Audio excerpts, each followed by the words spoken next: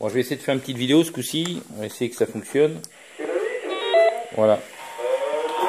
Donc, je vais vous montrer vite fait. Donc, 1, 2, 3 tests. 1, 2, 3. Donc, il est en émission. Là, je suis en mode analogique. Euh, petite vague qui est ici, là, c'est en mode analogique. Autrement, je peux faire la même chose en mode numérique. Voilà.